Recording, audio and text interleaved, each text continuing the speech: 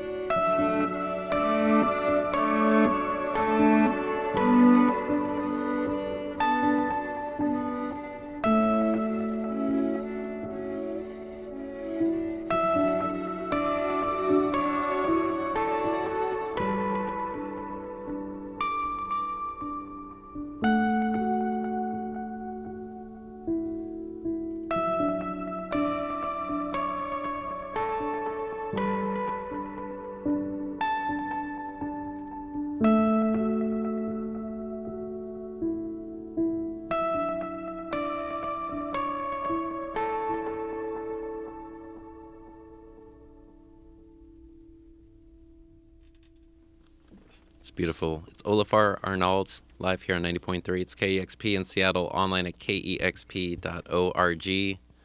And Well- with me are uh, Rubin Kodheli on the cello and Viktor Orri Árnason on the violin. Thank you so much for coming in this morning, guys. it's Um, really early. It is pretty early. Yes. Yes. I woke is. up at 6.30 to be Oof. here.